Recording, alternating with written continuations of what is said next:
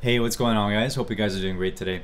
So in this video, I'm going to try my best to explain to you in as many details as possible what you're looking at on this screen right here. So the reason I'm making this video is because every time I do a live stream, I always get somebody coming in and saying, hey, I have no idea what I'm looking at and I want to know more about what I'm seeing. So I'm going to make this video kind of simple, but it's not simple because what you're looking at is not simple. But I'm going to kind of basically tell you one by one about what is on my screen and what it is you're looking at, more or less. And again, it's going to be a little bit tricky because I won't necessarily go into the why of why each of those things matters to me personally because every trader sees the market differently for one and they also look at different things and they have different ways of displaying the same information all right so that's sort of how I see it. So guys, if you enjoy this content, smash the like button because it really helps with the YouTube algorithm. And let's get to the video. So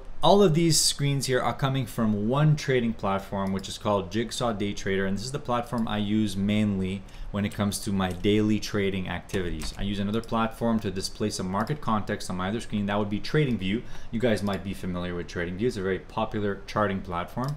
But when it comes to looking at order flow analytics, I use Jigsaw. There are other platforms that do the same thing. I could do this with Sierra charts. I could do this with other platforms as well. In fact, a couple of the ideas I've got on my screen here came originally from when I was using Sierra charts and I was able to transfer them over and only use Jigsaw. So in simple terms, what you're looking at on my screen is order flow analytics of two markets. On the left, we have NASDAQ futures. So everything from this point until this point right here, this big box right here, that's everything related to NASDAQ futures. And I'm not including this on the left side here, that's something else. And then everything from this point right here until this point right here, that's S&P futures. And then all the way on the right side, I've got a ladder about the Russell 2000. And I'll be honest with you guys, I don't have enough screen space to display everything I would want to display for multiple markets at once. So I'm only displaying two markets here and the third one off to the side. And again, it's always a battle for screen space. I don't have a million screens. I only have one screen in front of me, one screen off to the left, and then the third screen, I just use it to monitor the streams and to chat with people on Discord, not while I'm trading because that's very distracting. So basically two screens. I don't fall into the meta of the six screen traders, you know. Maybe one day though. What I've learned about my style of trading is that in this case Nasdaq futures. So from this corner until this corner, that's all the info I need in regards to Nasdaq futures right there. Okay? So now I'll start by explaining to you a little bit about what it is.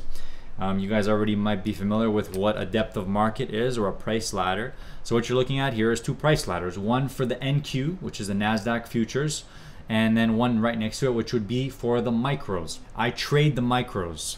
I look at volume on both the micros and the minis. So on these ladders, the info that I am displaying is, let's start on the left side here. So we've got the um, micros, all right, the volume profile for the micros, the price of the micros, the bids and the offers on the micros, and then the current trades on the micros. So every single thing that's hitting these boxes right here are trades that are occurring. So right now we're looking at the market. It's after hours here, 6:26 p.m. We're in the Globex session, and these are the most recent trades that have just taken place. So the market was just going down, and we're seeing some selling occur.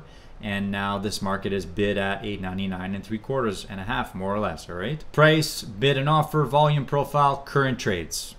Same thing for the E-minis. Price, bid, offer current trades in the middle. Again, these two columns right here are just the most recent trades that have traded right now.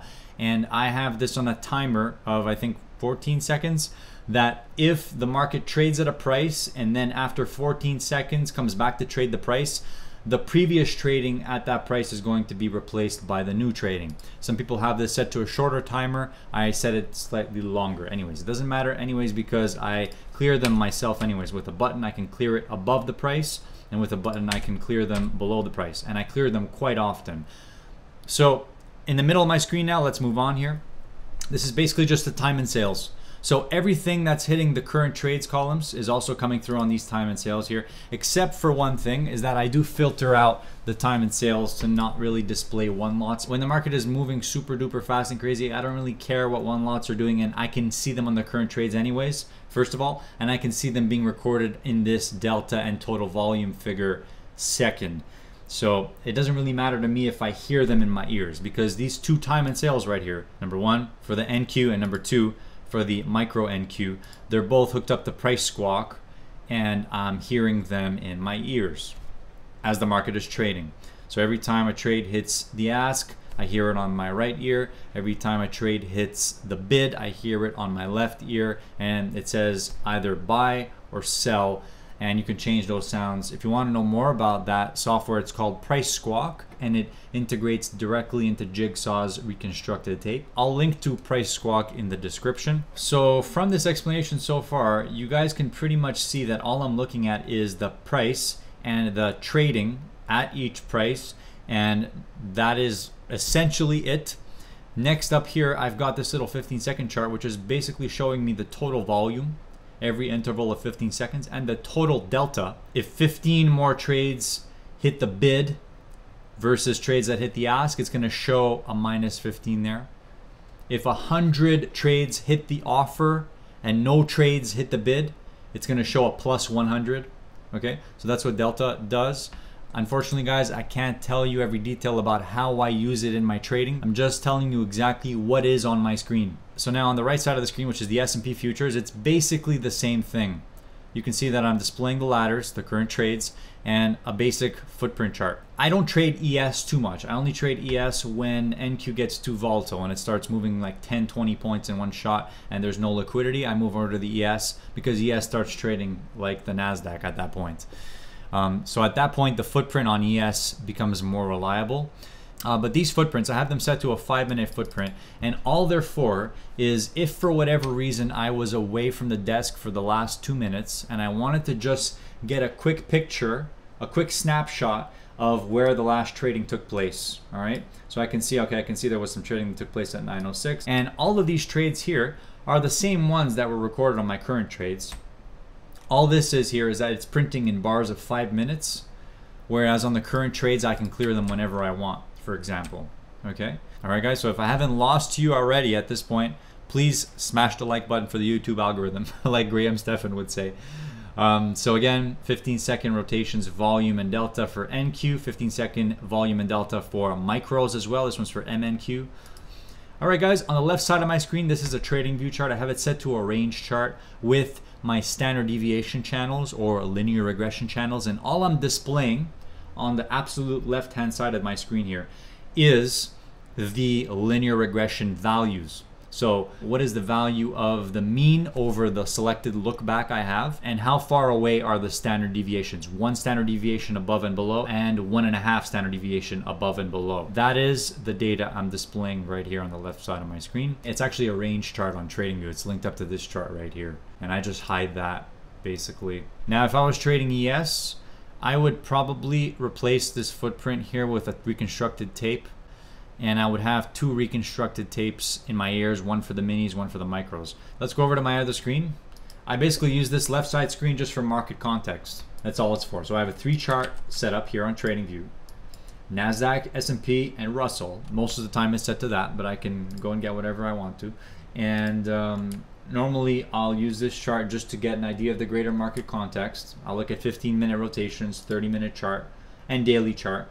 The lowest I'll go is a five minute chart because I find there are some moments where the 15 minute is not offering a lot of clarity. So in that case, I'll go down to a five.